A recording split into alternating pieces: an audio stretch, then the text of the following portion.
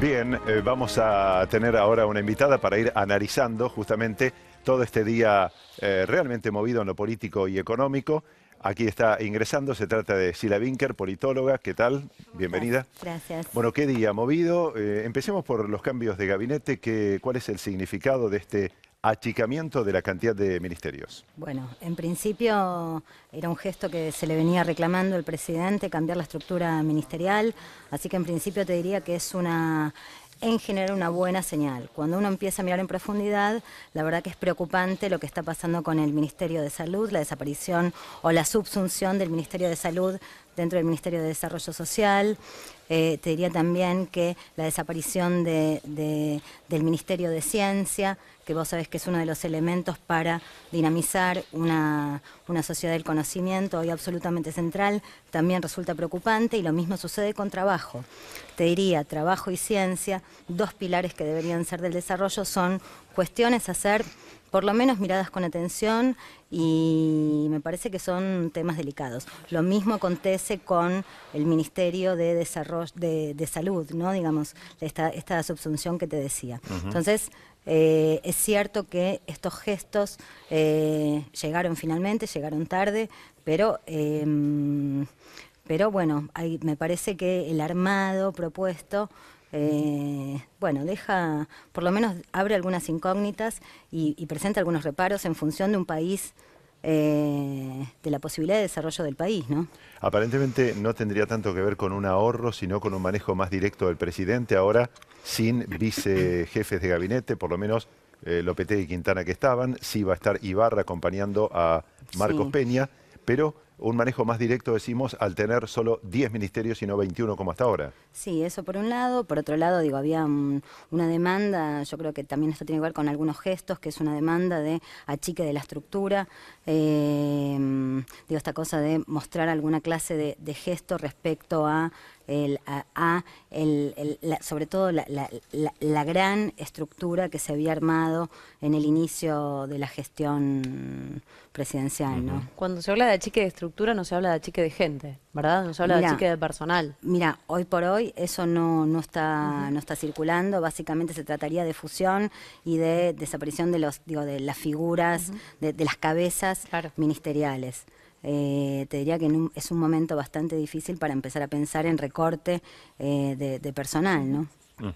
Eh, también es muy importante destacar lo de desarrollo social, o sea, el presidente admite que va a haber más pobreza y de ahí en más Carolina Stanley anuncia cinco medidas para la contención de los sectores más vulnerables. Sí, eh, bueno, es algo que ya lo habíamos visto cuando, cuando se anunciaron algunos de los elementos de acuerdo con el fondo eh, que tenía que ver con contención, contención de la pobreza. Eh, de alguna manera la, mirada está puesta, en, está puesta en los sectores más, más vulnerables. Me parece que los sectores más golpeados en esta crisis son justamente los sectores medios, ¿no? Digamos, porque de alguna manera hay, recaudos para contener a e, ese, ese 30% de, de, familias más pobres, 35% de familias más pobres. ¿Cuál es el análisis que hace de, la situación actual y de lo que va a venir, independientemente de lo que, mm, digamos, todo el mundo puede entender y que, que se viene un ajuste tal vez más grande? Desde su función de politóloga, ¿qué es eh, lo, lo que vislumbra? Mira, nosotros trabajamos analizando la opinión pública. Eh, lo que sí te podría decir es que, el, por un lado, la idea de gradualismo es una idea que circula entre los sectores más, eh, yo diría, más informados. Cuando vos hablas con, con el, ciudadano medio, lo, que ves es que lo que se ha vivido hasta ahora se siente como un ajuste brutal. Eh, ¿Tienen idea o, proyectan la idea de un ajuste más fuerte, digamos, porque tengamos presente que el ajuste aún no comenzó y que la ciudadanía ya lo vive como un ajuste bastante fuerte? No, yo creo que la situación, o sea, la situación es tan dramática en primera persona hoy que nadie se atreve a pensar en un ajuste aún mayor. Eh, con lo cual me parece que digo, no es una época para optimismo, no es una época para, digo, lo que se vienen van a ser seguramente meses bastante duros eh, y creo que aún no hay conciencia social de, de, lo que está por venir. Qué paradójico, ¿no? Que la población en general sienta que el ajuste ya está y los sectores más ortodoxos, los sectores del mercado, eh, justamente presionaran por un ajuste mucho más eh, poderoso que lo que se ha registrado hasta ahora. Totalmente paradójico. De hecho, digo, es común escuchar hablar de gradualismo versus shock o gradualismo versus ajuste y lo que te podría decir es que si hasta aquí se ha intentado el gradualismo, no es algo que la población lo perciba. La población percibe esto como ajuste.